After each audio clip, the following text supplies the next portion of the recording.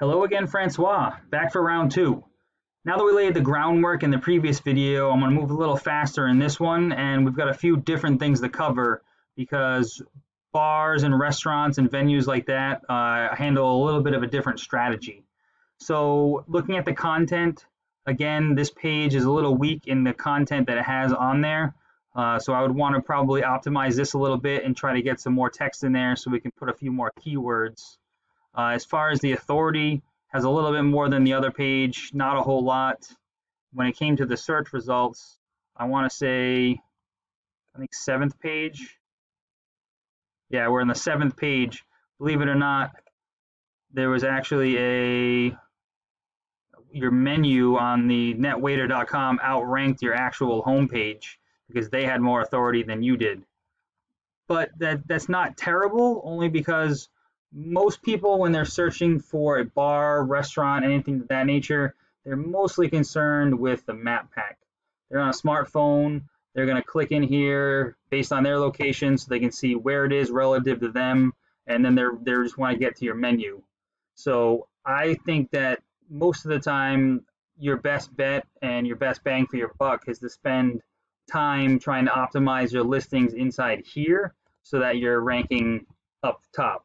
Now, for Middle East restaurants, we're right at the top because you actually have that content on your page. So the keywords are being pulled up and it's helping push you to the top in this.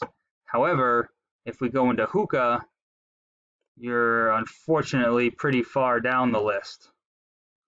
So I would say getting this page optimized to push a little bit more authority and get some more keywords, not necessarily to rank at the very top of the list here, but so that way more keywords can be found to help you get into the list here would be my game plan. That still the same thing with getting the citations.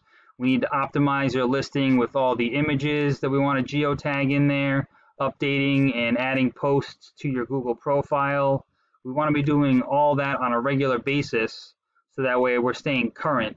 Because the way Google views it is if you're actively adding things and updating and doing things inside your profile, they assume with their algorithm that means you are a little bit more trustworthy because you're an active business. So they kind of reward that activity by recommending you. So optimizing this Google business profile is, like I said, where I would spend all of my time or a majority of my time. However, we can't ignore the fact that we do definitely need to update and optimize this site in order for that to happen.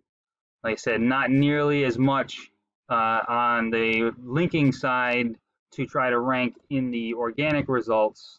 Uh, we definitely could, and I mean, by optimizing the site, it'll naturally help you um, but I, it's a lot more beneficial for you as a business to be upfront in here than anywhere else. So same thing, um, let me know when you've had a chance to view all this and then we can sit down either on the phone or in person and we can talk about a game plan and what it would take to get this updated and optimized and then what we would have to do to make sure we can start pushing you up in the rank over here in the Google Business Profile and the Map Pack. So again, I appreciate your time. Uh, I look forward to speaking to you soon.